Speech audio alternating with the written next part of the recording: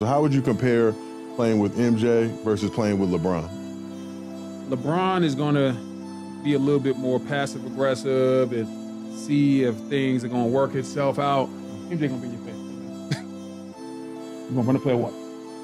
If not, we're going to sit your ass down. You know, Bron's going to Bron's going to kind of try to be politically correct with you a little bit more. MJ is just more direct, decisive, right at you.